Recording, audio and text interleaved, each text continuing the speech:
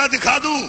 فاصلے اور بلا فصل کا۔ یہ جب پینسٹھ کی جنگ ہوئی ہے ہندوستان اور پاکستان کی، تو اس وقت مدینے کے رہنے والے عبداللہ نامی ایک شخص نے خواب دیکھا۔ پاکستان کے سارے اخبارات میں اس کا خواب چھپا۔ عزیزان محترم، اس نے حضور کی زیارت خواب میں کی۔ ہاتھوں کو جوڑ کر مدینے کا وہ باشندہ حضور سے خواب میں کہتا ہے، سرکار کہاں تشریف لے جا رہے ہیں؟ کہا پاکستان کی سرحدوں پر جا رہا ہوں؟ سرکار کیوں جا رہے ہیں؟ کہا پاکستان کی حفاظت کے لیے جا رہا ہوں۔ عبداللہ نامی شخص کہتا ہے، یا رسول اللہ، یہ آپ کے ہمراہ کون ہے کہا، میرے ہمراہ کون ہوتا؟ ہندوستان، پاکستان کی جنگ ہو رہی ہے۔ میرے ہمراہ فاتح خیبر ہے۔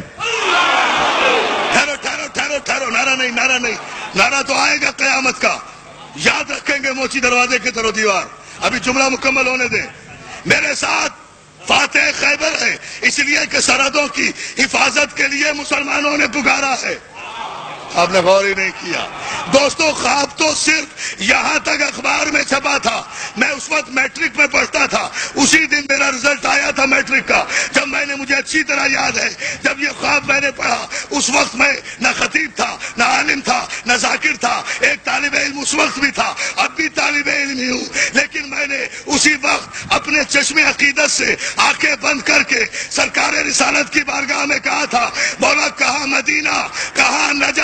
اتنے فاصلے سے جنگ کے لیے علی کو بلانے کی کیا ضرورت تھی؟ برابر میں بہادر پڑے ہوئے تھے۔